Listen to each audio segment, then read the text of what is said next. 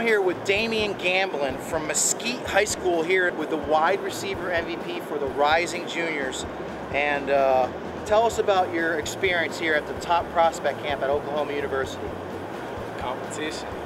I love this, the best in the country out here, so and the competition is just overwhelming. Hey, you guys always have a tough schedule every year. Who are some of the opponents this fall that you look forward to playing?